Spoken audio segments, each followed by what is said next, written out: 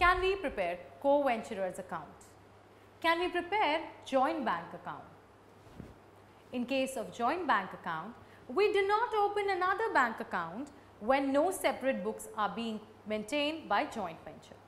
This is because the co-venturers do not consider the joint venture as separate business as explained earlier. Now, as far as co-venturers account is concerned, this account is created for the purpose of recording the transactions carried out by the other co-ventures. However, in the current scenario, we are recording only our own transactions. So, which accounts do we require to create? For this purpose, it is necessary to open an account where all expenses incurred, material sent, etc. are debited. This account is called the joint venture with co-venturer account. The joint venture with co-venturer account is a personal account.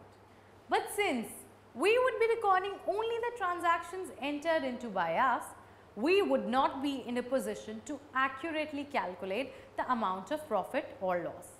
Therefore, a rough statement is prepared by the co-venturers for determination of venture profit called the memorandum joint venture account.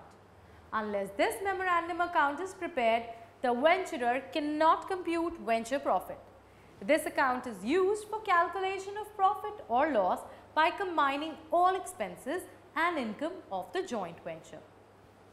This helps to ascertain the share of profit of each co-venturer. Let us consider the accounts in the books of X to understand accounting better.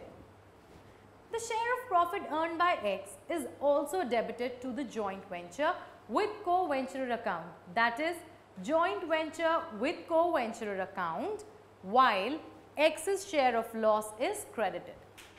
Any receipt on account of joint venture or from co-venturer is credited to this account while any payment to the co-venturer is debited to this account. Now let's proceed to understand the journal entries. Again, we need to take the example of XYJV and we will continue to account for entries in the books of X. We will be opening joint venture with Y account in the books of X and the memorandum joint venture account.